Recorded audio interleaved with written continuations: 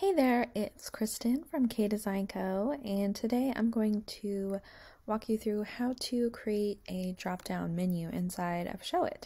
So, uh, this functionality isn't built in by default into most uh, Showit templates, but it's something that you can easily add. And so I'm going to use my Kimberly template as an example for how you can easily create your own drop down menu.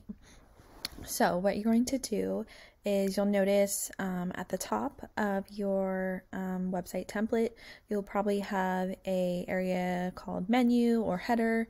Um, in my Kimberly template, it's called the header. And so what you're going to do is just click into it um, to be able to edit it.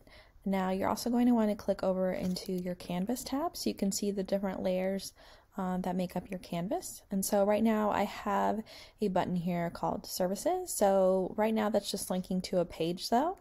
Um, but what happens if you wanted to link, show um, several services um, and actually link to multiple pages? Well, that's what we're going to use the drop down for. So um, the first thing that you're going to want to do is um, to create a new view in your uh, canvas. So you're just going to go over here and click on these three little buttons and you're going to say add canvas view. And so the default view that you're going to have is just going to be, um, there's actually going to be nothing in it. Um, and then we're going to create a second view and our second view is going to be our drop down. So I'm going to go ahead and rename the second view to drop down or you could say services drop down if you had multiple drop downs um, it might be helpful. And I'll just name the first one default. Um, so if you kind of think of these view folders as um, somewhat like slides so the first slide um, isn't going to have anything in it. And it's what it's going to be shown by default. So we're not going to have any extra elements to our um, menu. Um, but then once they click the second folder it will show the drop down elements um, so now that we have the two view folders, you're going to want to go ahead and click to add a rectangle. And so you're going to want to go ahead and place that kind of in the area where you want your drop down. Um, and you can line it up um, with your menu item if you click and drag to select um, both of those items. And then if you hit the center align to group so that you know that they're centered up. And then I'm going to go ahead and um, adjust the size of my box until it looks um, about how I want it. Um, obviously, that's personal preference, um, but then I'm going to change the color. Um, if you want to do just kind of like a simple white box, you could do that. And then um, I'm also going to add a little bit of a drop shadow here as well, just to kind of give it set apart from the background.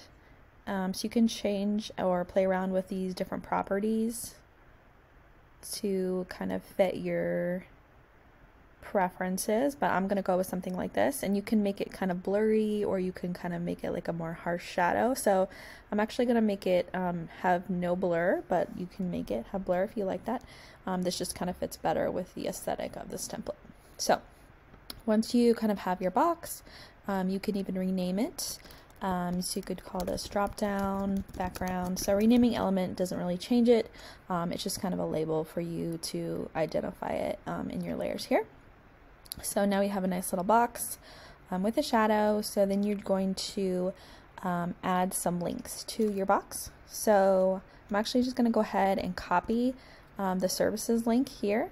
And then I'm going to paste um, just using the commands like Command C, Command B if you're on Mac, or Control C, Control V if you're on Windows. And whenever you copy and paste something and Showit, it's just gonna, the copied version is just going to um, cover up the version that you copied. So you'll just have to move it um, to to be able to see the second instance of it. So you can obviously use uh, the click and drag or you can use the arrow keys to move it kind of down from where you want it to show. So we have um, our first copied text here. So I'm just going to go ahead and call this service 1. And if you want, you can kind of adjust the size of the text box if you had a longer name. Um, if you use the stretch arrow, but if you hold down option, it'll actually resize the box um, equally on both sides. So that's kind of a cool little tip. And then again, I'm going to copy this uh, service one and I'll make actually a service two. And so another trick for doing that besides copy and paste with the traditional shortcuts is doing uh, holding down option and then clicking and dragging that second item down. So that's another way you can copy. So there's lots of fun, cool little tricks you can do to kind of speed up your workflow. So I have service one, service two now over here. Um, so that's looking pretty good. Um, and then I'll say I actually think I want to add like a little line to kind of separate um, the two just to kind of give it a, like a little bit of um, spacing, visually different. Um, so I'm just going to pick one of my brand colors over here, um, create a line element, and then kind of place it in the middle here. So then I might want to adjust my spacing. So if I click on all three of these items and then I click distribute uh, vertically, then it's to make sure that the spacing is nice and even between those items. So now that you've kind of built the menu visually, you're to make it um, function. So um, instead of having your services menu uh, now click to a page, we're going to change it so that it goes to show this second view uh, folder. So you're going to take off that link um, to the site page and instead you're going to have it linked to a canvas. And so you're going to say this canvas and then you're going to identify the canvas view. So you can see over on my little view folder that the services dropdown is under the second view folder.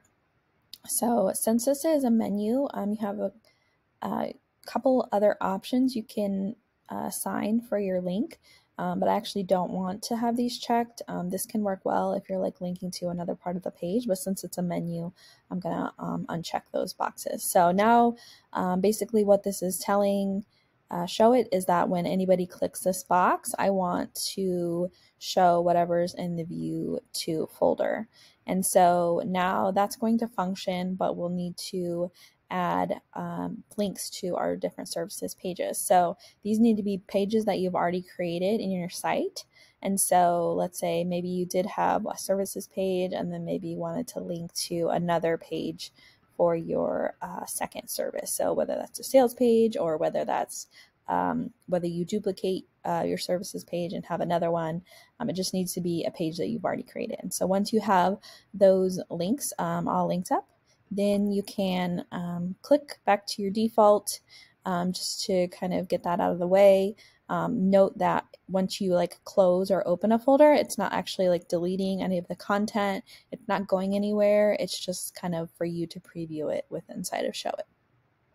So we're going to go ahead and test this out and see if it works. So what you can do uh, to do that is just click the little preview button up here and then I always like to pop it out into its own window. So to do that, you can actually, if you're on a Mac, just hit Command um, and then click that link and then it'll show you kind of nice and big over here.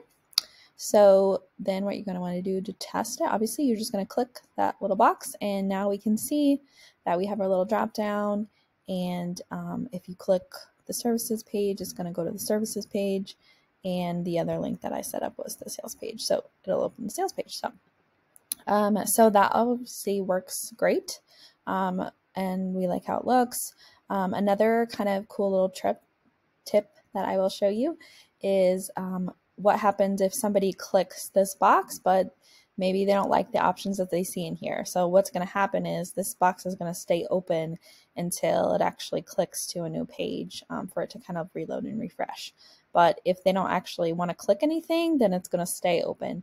Um, so typically the thought might be to maybe click somewhere else on the page to actually get that to close. So I'll show you how you can kind of create a hidden element um, behind your drop down that will kind of give them an opportunity to close it out.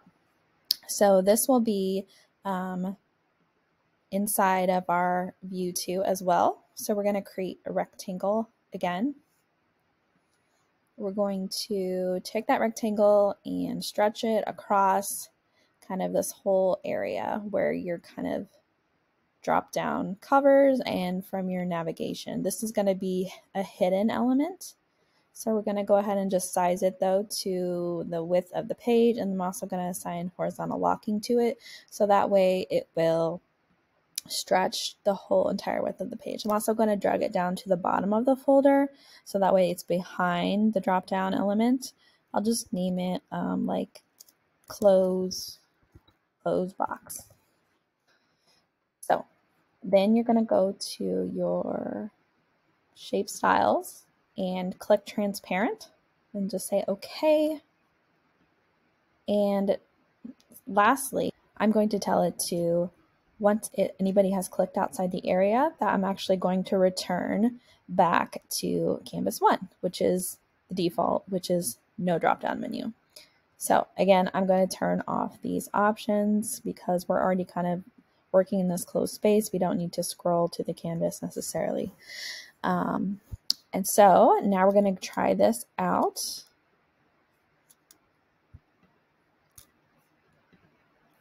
So I have my drop down again, same as before, but what if I don't want to click one of these? I can just click out here kind of in this space and you can see how that was easy enough to kind of get out of that menu. So that's a fun little trick. So now that you've added your drop down menu, um, everything's good on uh, desktop, but what about for mobile? So mobile is a little bit different. The best way to implement a drop down in mobile is actually just to list out all of the links for your navigation. So you're going to want to, instead of actually have a drop down, would be just to list out all of the links that would be inside of the drop down. Um, so on your mobile navigation, you're going to go to your mobile navigation. And so let's say on your desktop, we created the drop down for services, but on your mobile navigation, um, so you just need to add one additional link. So maybe this would be your services one, and then you would um, duplicate, you can move the other links, and then you can duplicate um, to create a second service. Um, and then obviously you would assign the right page to that if that's how you wanted, and you can kind of realign and adjust those elements as needed to be the right spacing. You'll notice that if you click back into Showit and you're viewing the mobile version of your menu now, you're going to have this weird little box. We can easily get rid of that. Um, it's just the background that we use for our drop down, but it's unstyled. Um, but you, since we're not going to be using the drop down in mobile, we're just going to hide it. And so just click those two little dots, those two little phones next to the elements that we created. Um, I guess, three little elements that we created for our dropdown, and then you're only going to be seeing this on the desktop side of your drop-down menu. All right, well, that's a wrap. Hopefully, this tutorial was helpful for you in creating a drop down menu on your show Showit site. Let me know if you have any questions about this video or comment with the video you'd like to see next. Thanks.